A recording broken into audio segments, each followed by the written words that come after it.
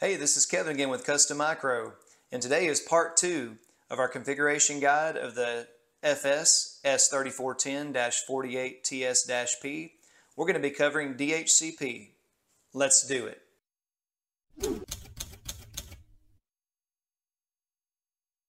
So now the next thing we need to configure is underneath Advanced. We're going to set up DHCP for these different VLANs. So we're going to toggle DHCP on. Let's go ahead and create a DHCP pool. So click Add DHCP, give the pool a name. We're going to help this line up with our VLANs we created earlier. So I'm going to call this first one Inside Wired. You'll notice there's a little bit of an issue with our address range. You may recall earlier we used a slash 23 network instead of a slash 24 so in the graphical user interface, you can only set a range in the first part of that subnet. I'll show you later how through the command line interface you can use more of that subnet for your DHCP pool, the available IP addresses it can assign dynamically. For now, we'll just set it to 10.127.10 all the way from 10.50 to 10.254. It automatically populates our gateway IP we have our lease time, we have our preferred DNS server, secondary DNS server.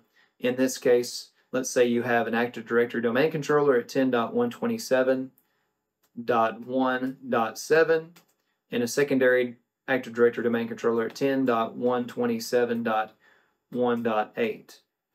Maybe if you don't, you could set the secondary DNS server to be something like Google or Cloudflare so you could set it to something like 1.1.1.1, or if you wanted to, you can use maybe let's say your firewall or router is the secondary DNS server, in this case 172.16.127.1. We're not going to go into the advanced settings at this time because there's nothing there that we need to configure, so we'll click Save. And we'll just rinse and repeat with all the additional VLANs we created earlier.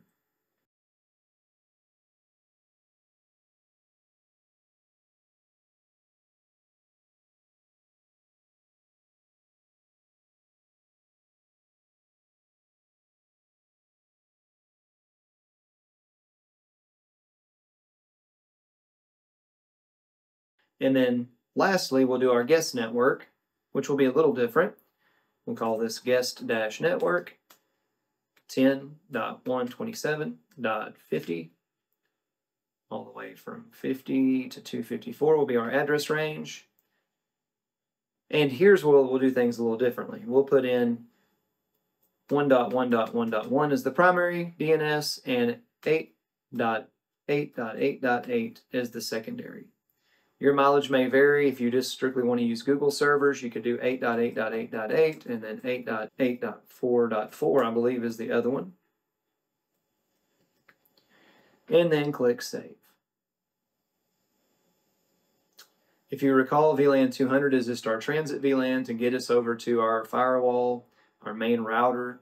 So we're not going to set up a DHCP pool for that. There you go. That takes care of all of our networks. And again, we'll do some more work on this from the command line to fix that problem with our address range being so limited compared to our subnet size. We'll log in. Remember, the default username and password of the command line is admin admin. If you want to make changes, you're going to first need to type the word enable. That puts us in an elevated mode. And then we'll type the word configure. And we type the letter T for terminal. So it says enter configuration commands, one per line, and then if we need to end, we can end with Control Z. And let's take a look at our DHCP pools. Remember how the network range was limited earlier? So let's fix that. So if we go into IP, DHCP, pool, and we put in the name of the pool, inside, wired, now we're in configuration mode for that. We can say network 10.127.10.0 255.255.254.0. Notice how it's wrong in there. And then we're going to put in the range 10.127.10.50. The ending of the range 10.127.11.254 and enter.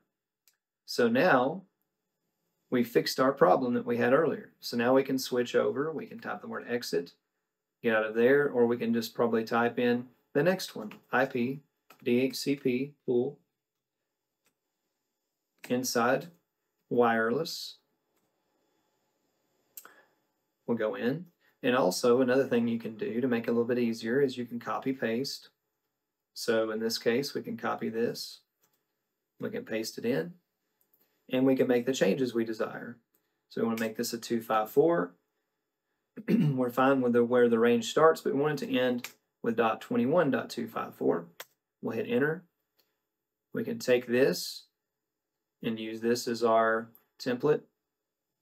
So now let's go into our next one, IP, DHC, DHCP pool, voice over IP phones. And it let us switch to that without having to exit out first. We're going to paste in what we had earlier.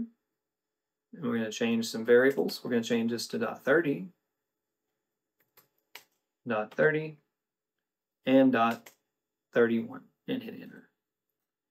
Then we're going to go arrow up and change to the next DHCP pool, which is IP cameras. We're going to arrow up, and we're going to change this dot 40, dot 40, and dot 41. Then we'll arrow up, change to our next one, which is our guest network. And then we'll make this 50, 50, and 51, and enter.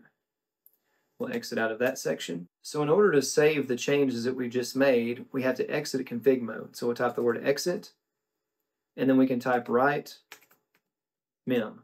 If I tab, you'll notice the command is write memory. That saves our configuration. Always, always, always write mem. If you do not, you will regret it. That will write the running config to the startup config, so if the switch reboots for any reason, you'll have your current config. It's a common mistake people make. They forget to write to memory, but you've got to do it. Now that we've done that, I'm going to show the running configuration again. And now if we look at our DHCP pools, if we scroll up just a little bit, which they're up at the top of the list, we should see our ranges have changed now. And let's take a look at several of these to make sure everything looks right. And sure enough, it does. Notice now our network has the right subnet mask, has the right DHCP range, and that's true of VLAN 10, 20, 30, 40, and 50. Everything looks great. Hope you enjoyed this video. Make sure to subscribe to our channel so you can catch all the other parts of our configuration guide for this FS S3410-48TS-P network switch. Bye.